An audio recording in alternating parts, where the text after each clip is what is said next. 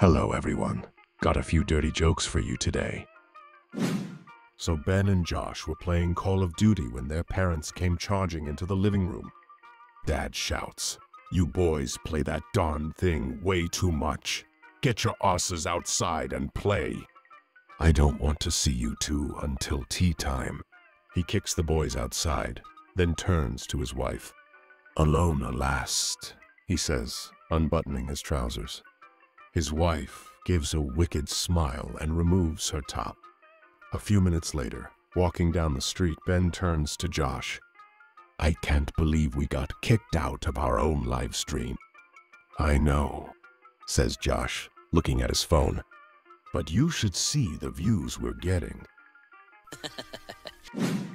so an army colonel is newly assigned command of a unit. On his first day, he walks by a park bench with an armed private standing guard next to it. The colonel asks, son, why are you standing guard by this bench?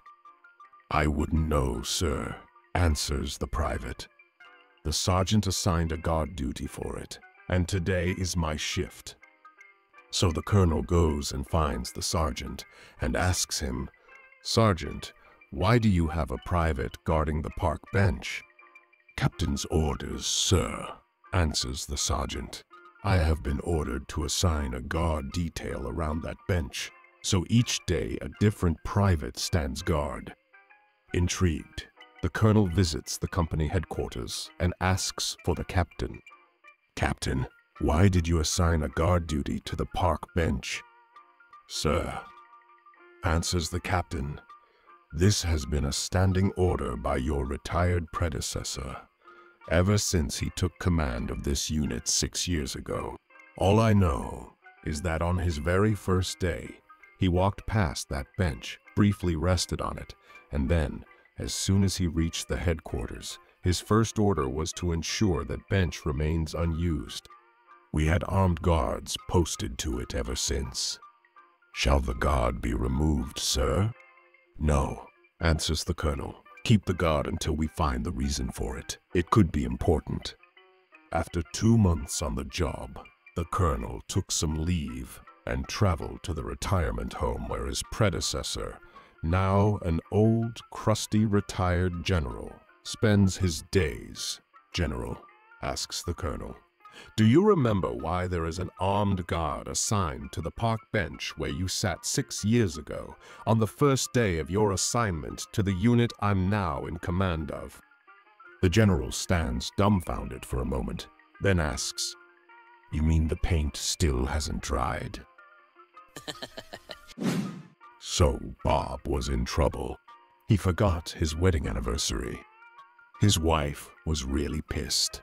She told him, tomorrow morning.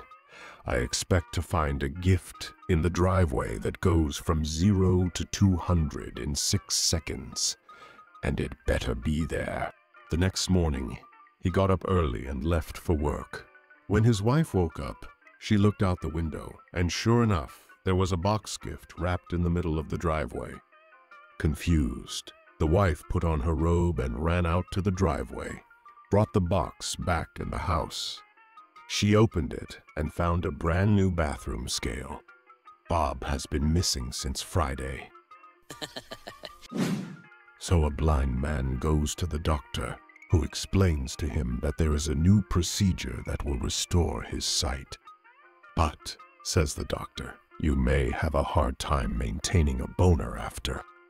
So the blind man asks if that is a common side effect, and the doctor says, No, you will be able to see your wife.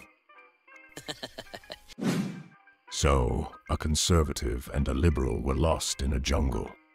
After what seemed like forever, they came upon some old ruins with a beautiful freshwater spring running through, so they decided to indulge drinking from and bathing in it. Before they could finish, they are ambushed by a tribe of indigenous people who capture and cage them. They are hauled off to the village chief, who says to them, You two have stepped on sacred land and tainted forbidden waters, and for this you must be punished. Now, choose your fate, death or one hour of lancing. What's a lancing? asked one of the men just as a huge, muscular individual stepped out from inside of a hut. This is Lance, says the chief, our village stud. For one hour, you will be bent over, and Lance gets his way with you. After a brief moment, the liberal decides that an hour of sodomizing is still better than death, so he takes the hour of lancing. After which, he is set free from his cage. The conservative, however, has a strong conviction against gay activities and exclaims to the chief, I would rather die than commit such atrocities. I choose death. Very well, says the chief. Death by lancing. so Dave got called to the director's office. With a serious look on his face, the director began, Dave, we have to make some cutbacks. Either Jack or Sarah has to be laid off. This is really hard, Dave says. Sarah is my best worker, but Jack has three kids to support. The director gives him a day to think about it. Later that day, he calls Sarah to his office and says, Sarah, I've got a real problem. I've got to either lay you or jack off. Sarah thinks for a moment and says, You should probably jack off. I'm on my period. so a man went to the police station, wishing to speak with the burglar who had broken into his house the night before. You'll get your chance in court, said the desk sergeant. No, no, no, said the man. I want to know how he got into the house without waking my wife. I've been trying to do that for years. So a married couple was in a terrible accident where the woman's face was severely burned. The doctor told the husband that they couldn't graft any skin from her body because she was too skinny. So the husband offered to donate some of his own skin. However, the only skin on his body that the doctor felt was suitable would have to come from his buttocks. The husband and wife agreed that they would tell no one about where the skin came from and requested that the doctor also honor their secret. After all, this was a very delicate matter. After the surgery was completed, everyone was astounded at the woman's new beauty. She looked more beautiful than she ever had before. All her friends and relatives just went on and on about her youthful beauty. One day, she was alone with her husband, and she was overcome with emotion at his sacrifice. She said, Dear, I just want to thank you for everything you did for me. How can I possibly repay you? My darling, he replied, I get all the thanks I need every time I see your mother kiss you on the cheek. so a small zoo in Georgia acquired a very rare species of gorilla. Within a few weeks, the gorilla, a female, became very difficult to handle. Upon examination, the veterinarian determined the problem. The gorilla was in season. To make matters worse, there was no male gorilla available. Thinking about their problem, the zookeeper thought of Bobby Lee Walton, a redneck part-time worker responsible for cleaning the animal cages. Bobby Lee, like most rednecks, had little sense but possessed ample ability to satisfy a female of any species. The zookeeper thought they might have a solution. Bobby Lee was approached with a proposition. Would he be willing to mate with the gorilla for $500? Bobby Lee showed some interest, but said he would have to think the matter over carefully.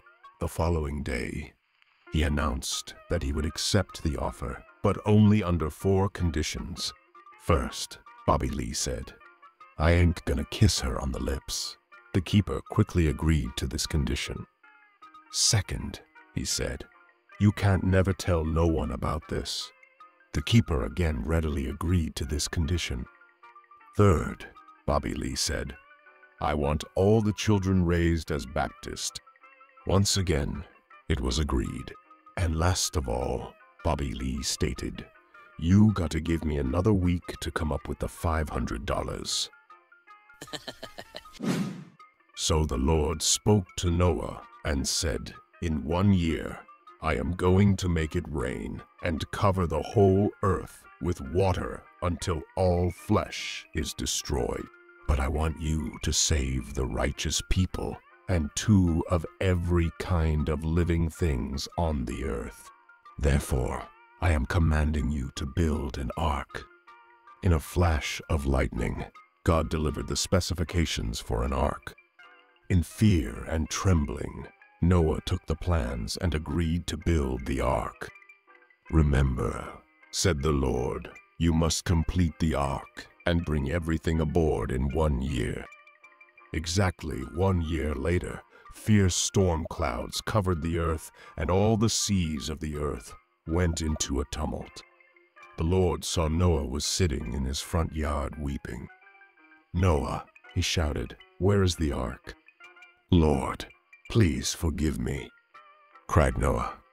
I did my best, but there were big problems. First, I had to get a permit for construction and your plans did not comply with the codes.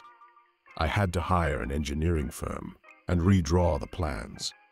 Then I got into a fight with Occupational Health and Safety Commission over whether or not the Ark needed a fire sprinkler system and flotation devices.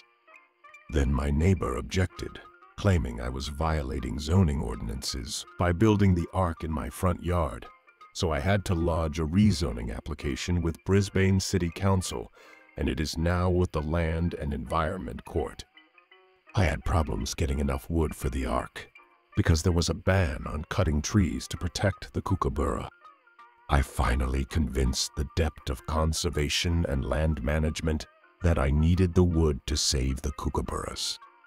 However, national parks and wildlife won't let me catch any kookaburras, so no kookaburras. The carpenters formed a union and went out on strike. I had to negotiate a settlement with the Dept of industrial relations before anyone would pick up a saw or a hammer. Now I have 16 carpenters on the Ark, but still no kookaburras. When I started rounding up the other animals, I got sued by RSPCA. They objected to me only taking two of each kind aboard. Just when I got the suit dismissed, the EP notified me that I could not complete the ARK without filing an environmental impact statement on your proposed flood. They didn't take very kindly to the idea that they had no jurisdiction over the conduct of the creator of the universe. Then the Department of Land and Water Conservation demanded a map of the proposed new flood plan. I sent them a complete set of directories. Right now, I am trying to resolve a complaint filed with the Equal Employment Opportunity Commission that I am practicing discrimination by not taking godless, unbelieving people aboard. The IRS has seized my assets claiming that I'm building the Ark in preparation to flee the country to avoid paying taxes. I also have to wait for registration of my ABN for the GST. I just got a notice from the Waterways Authority that I owe them some kind of user tax and failed to register the Ark as a recreational watercraft. I also need a boat driver's license, but they are debating about how to classify the craft. I'm getting continual visits from Greenpeace, WorkCover, Sheriff's Office, and numerous other government departments. Finally, then Council for Civil Liberties got the courts to issue an injunction against further construction of the Ark, saying that since God is flooding the earth, it is a religious event and therefore unconstitutional. I really don't think I can finish the Ark for another five or six years. Noah wailed. The sky began to clear, the sun began to shine, and the seas began to calm. A rainbow arched across the sky. Noah looked up, hopefully. You mean you are not going to destroy the earth, Lord? No, said the Lord sadly. I don't have to. The government bureaucracy already has. Hmm.